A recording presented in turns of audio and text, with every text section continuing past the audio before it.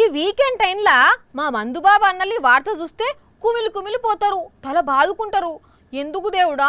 మా కండ్ల ముంగట. మరీ ముఖ్యంగా మాకే ఇంత ఘోరం చూపెడుతున్నావు అని గుండెలు బాదుకున్నా బాదుకుంటారు ఏడ్చినా ఏడుస్తారు నెత్తి నోరు కొట్టుకున్నా కొట్టుకుంటారు.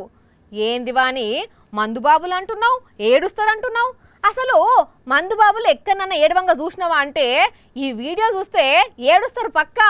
అయ్యో అయ్యో అయ్యయ్యో చూసిన రానుల్లో ఎంత పని చేస్తున్నారో అన్నలు. అయ్యో అన్న పలగొట్టకే అది ఖరీదైన కీసా?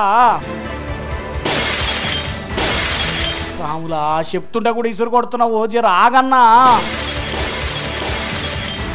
అయ్యో ఓ రోడ్ రోలర్ నడిపే అన్నా రాగవి ఆగవే కసి తీర తొక్కుడు తొక్కి కోటర్ సీసాల కసర తీస్తున్నావు అని కళ్ళల్లో నీళ్ళు పెడుతున్నా లే తావు తన్నలి చూసి మరి అసలు ఇంత ఇలవగల సీసాలను రోడ్డు మీద పోసేందుకు పప్పు పప్పు చేస్తున్నారు? అసలుకే మందు దొరకక ఏడుస్తుంటే వీళ్ళెందుకు ఇట్లా చేస్తున్నారు? మంది ఎక్కువ ఈ పని చేసిర్రా అంటే కాదు.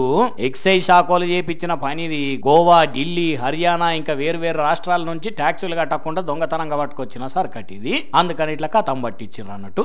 దగ్గర దగ్గర కోటి ఎనభై లక్షల రూపాయల మందట ఇది దొంగతనంగా ఎవరన్నా మందు తెచ్చినా తెచ్చిన వాళ్ళు ఎవరన్నా అమ్మినా పట్టుకుంటే ఇదే కథ ఉంటుందని జనాలకు తెలిసేటట్టు చేసిండ్రు అన్నట్టు ఇట్లా. కానీ మందు తాగే అన్నల గొంతు ఈ కీసాల చూడంగానే ఎండిపోయినాలే కావచ్చు పాపం.